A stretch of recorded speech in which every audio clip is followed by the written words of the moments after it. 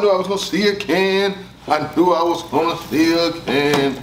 Yeah, yeah, yeah. You already know what it is, man. Salute to the subscribers, that notification gang, etc., etc. Don't let none of that get too far ahead of you. Salute to my guy, Showtime SP, and everybody else out there, man. So I see, I see the talk. I see people talking. I see a lot of tweets and there's blogs and there's a lot of shit going on out there because Calicoe versus Eazy the Block Captain got announced yesterday. Um, it's going to be on Ultimate Rap League Summer Madness 12. Uh, Eazy the Block Captain, well deserving of a battle. Calicoe, well deserving of a battle. Legendary stature, status, things like that. Um, I seen Calicoe post the blog, I mean the show, episode we did yesterday. He said, he said, and I quote, don't these niggas get tired of getting this wrong? As far as like you know the opinion because I said it yesterday your opinion doesn't count until your opinion counts right? Um, and that's in regards to his battle. So when he battled chess I had Cal winning. When he battled Tsu Surf I picked Surf to win that battle. Surf won that battle. I picked Cal to beat chess. Cal beat chess. I picked Cal to beat Verb. Cal beat Verb. So, like I said, your opinion doesn't matter until it matters. So we are wrong. If I'm wrong when you win, I should be wrong when you lose. You you see what I'm saying? Y'all get put that together, right? So um, I don't pay much attention to that, but I did have to mention it because you know Cal he put us on blast. Y'all tired of getting it wrong, and I know people go with the notion that SP hates Cal, but that's an individual person with his own individual opinion. My opinion is just that. Um, I got a lot of respect for Cal and what he does. I got a lot of respect for Eazy and what he does too, and I'm sure it's to be a pretty good battle. But Cal, no, you're dead wrong because I picked you to win battles, and I picked you in other battles that turned out the other way. You know what I'm saying? So let's let's keep it keep it across the board. Um, so you got his trailer coming out, and he did comment on the fact that ARP's voice was in the trailer. He said, "Yo, I don't even know why ARP's voice is in my trailer. Like, what's going on with this?" So if you don't know, you know, URL drops a trailer yesterday, and I know a lot of y'all think. Oh, Smack, Smack don't make trailers. No, no, no, no, no, no, no. He's not making trailers. The bosses don't make trailers. They got people make trailers. Derez makes trailers, and there's other people. And then he's used a lot of people's voices in trailers before. He's used mine, he's used others, you know what I'm saying? And I'm sure they got the way they go about doing it, you know what I mean? And if I'm in one, it's cool. If I'm not, I don't care either, you know what I'm saying? It is what it is. But they use the best build up for battles. And of course they're gonna fire ARP. Of course they are. Why wouldn't they? ARP has a whole show. ARP is a league owner. ARP does blogs. ARP he has a strong opinion in battle rap. He has a whole podcast series now. Sorry It's True, where he talks about and breaks down everything from battles to backstories to narratives to winners to losers. I've seen ARP even recap URL events. He's recapped Summer Madnesses, he's recapped other big events. He probably, I think he recapped the Drake card, and these niggas ain't friends, they enemies, you know what I'm saying? Like you see, URL does they thing, and you know, Rare Breed Entertainment does theirs. It's two totally different entity, entities.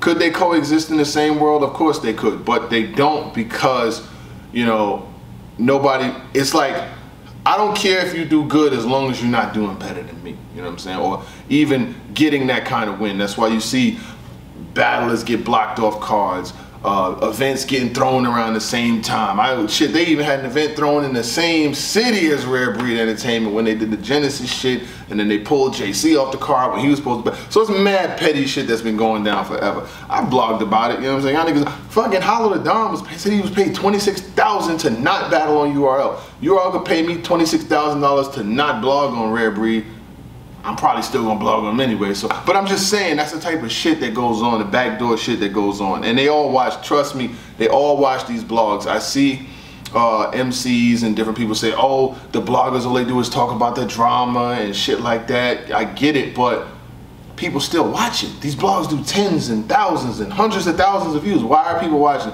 If nobody cared, why do they still watch it? I've, I've, there's been times where me and SP have broken down battles, bar for bar, line for line, did all of this stuff to break down a battle, and nobody even really cares. The artists that you're breaking down the battle for don't even care. They don't retweet. You can tag them in it and everything. They won't retweet. They won't talk about it. They don't give a shit about it. But the second you be like, you know what, fuck that. I'm just gonna stick to the news and we're gonna stick to when battles happen and recap the big events. Now everybody's like, oh, you don't recap our battle. I'm sorry, I don't give a fuck. Well, well, well. All you niggas can take the L. Now let's move on.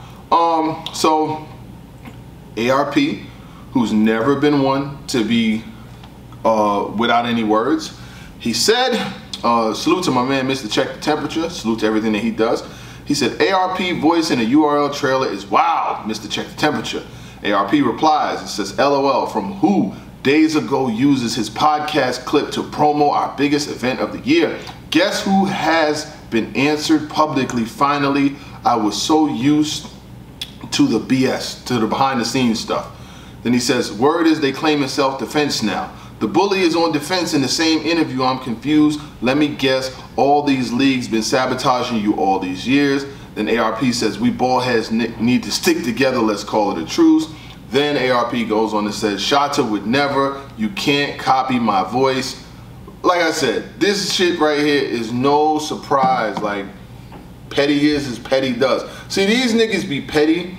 Like, URL's been petty for years, but they just use different people to, pr to promote their pettiness. Like, they, Smack not gonna come out and just diss ARP but it'll get his closest soldier, Surf, Surf will jump out there. Other niggas will jump out there. Oh, KFC. Oh, you, them niggas over there, they ain't got no stars. They you, they'll, they, and even, and you guys know that when I say use, they won't tell them to do it like straight up like, yo, drop a tweet on these niggas today. You better drop a tweet on these niggas today. Or you ain't getting your second hand, shut fuck up out of here. Nah, it's not happening like that. But what it is, is that people pledging allegiance to one side We'll diss the other side. We'll talk about the other side. We'll say that they don't got no stars, say they don't got no big events. But trust me, that Cassidy versus Hitman, that definitely shook some shit up. It definitely shook some shit up because the next thing you know, now Cassidy is uh, booked to be battling Freeway. Nobody in the fucking world wants to see that shit. I don't even think the niggas who's battling in the battle want to see that shit. You know what I'm saying? But then they said the bloggers be all about the drama. I blogged on that freestyle that Freeway did the other day. That shit did almost 30,000 views. Why are y'all If you if we if we're nothing but drama, why are people watching it? Because it's provocative. It gets the people going. You know what I'm saying? Like they're gonna watch. So anyway, let's keep it going. Um, Am I surprised that ARP was the target of a URL trailer? No, I'm not surprised because, like I said, ARP has a whole podcast series where he talks about everything every day. It's actually pretty good. Sorry, it's true is the name of it. It's like a rabbit hole. If you click one and it automatically plays the next one, then it plays the next one. It play. He has a whole stream. It's like fucking 30 of these shits, and I'm sure he's gonna have more of them after this drop. So, um, do have a lot of respect for ARP and what he does, you know what I'm saying? Like he's put together some pretty big battles. He's helped the culture a lot, you know what I'm saying? He's continued to deliver content to YouTube, which is a very important thing because YouTube era was very important. Niggas built their careers, like whole leagues, whole entities, whole bloggers, whole platforms have been built off of YouTube. So to see them take a shot at him and to put his voice in the trailer, I'm really not surprised. But one thing I did get um, from Calicoe was that he was basically saying that you know there's certain MCs that he could prepare for on the fly. Like he could literally just prepare for Fonz while on a drive to the damn event.